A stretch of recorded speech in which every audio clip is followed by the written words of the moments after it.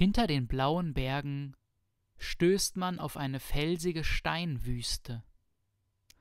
Dahinter liegt die heiße, glühende Sandwüste. Ganz am Ende trifft man dann auf eine Stadt mit einem wunderschönen Schloss.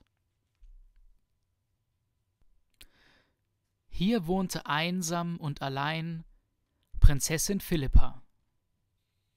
Des Nachts beobachtete sie gerne die Sterne. Und so geschah es, dass sie einen Stern entdeckte, der von Nacht zu Nacht größer und größer wurde, viel größer als je ein Stern zuvor. Ihr wurde sehr schnell klar, dass er die Geburt eines sehr großen Königs ankündigte, eines sehr, sehr bedeutsamen Königs, ja eines so großen Königs, wie ihn die Welt noch nie gesehen hatte. Diesen König wollte sie begrüßen und bei seinem Geburtstagsfest dabei sein. Den ganzen Tag überlegte sie, welches Geschenk sie dem neugeborenen König mitbringen könnte. Hast du eine Idee? Nach langem Überlegen hatte Philippa eine gute Idee. Ihr kuscheliger, lieber kleiner Freund, der Teddybär, der nachts immer neben ihr im Bett lag und dem sie alles erzählen konnte, den wollte sie dem kleinen großen König schenken. Was ein Geschenk. Und so machten sich die beiden auf den Weg.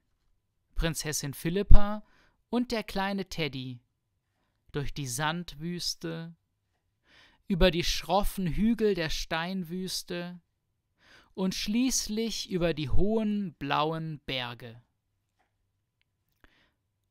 Dann kam die kleine Prinzessin in einen dunklen Wald mit hohen grünen Tannen. So viele Bäume waren es, dass sie gar keinen Weg mehr erkennen konnte. Wohin sollen wir denn jetzt gehen, kleiner Teddy? Ratlos setzte sie sich mit ihrem Teddy unter einen Baum und wartete auf die Nacht und die Sterne. Da leuchtet der neue Stern auf einmal so nah und so groß vor ihr auf, dass sie aufsprang und direkt auf ihn zulief, bis zu einem hell erleuchteten Stall. Als sie eintrat, sah sie Maria und Josef und vor ihnen in einer Krippe den neugeborenen König Jesus. Der strahlte ihr entgegen. Ganz vorsichtig kam sie näher und kniete sich in großer Freude vor das Kind. Sie legte das Bärchen zu Jesus in die Krippe. Da umhüllte sie ein Strahlen, eine große Wärme, die Weihnachtsfreude begann ihr Herz auszufüllen. Weggewischt waren Müdigkeit, Einsamkeit und Angst. Als sie sich satt gesehen hatte, machte sie sich mit leichten Schritten und einem neuen Freund in ihrem Herzen auf den Heimweg. Sieh nur, etwas ist anders geworden mit Prinzessin Philippa. Die Weihnachtsfreude hat ihr Flügel verliehen, beinahe wie ein Engel. Das spürten auch die Menschen und Tiere, denen sie auf dem Heimweg begegnete. Überall hinterließ sie ein helles Licht, ohne dass es in ihr weniger wurde, denn sie war zu einer Himmelsbotin geworden.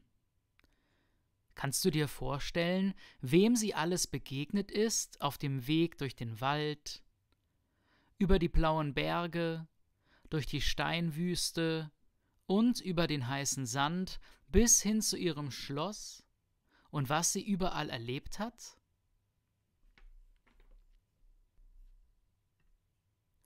Ich kann mir vorstellen, dass sie vielen Tieren und Menschen begegnet ist, die nach ihrer frohen Botschaft begannen, das Jesuskind zu feiern. So wie du, zusammen mit deiner Familie, in den nächsten Tagen Weihnachten feierst.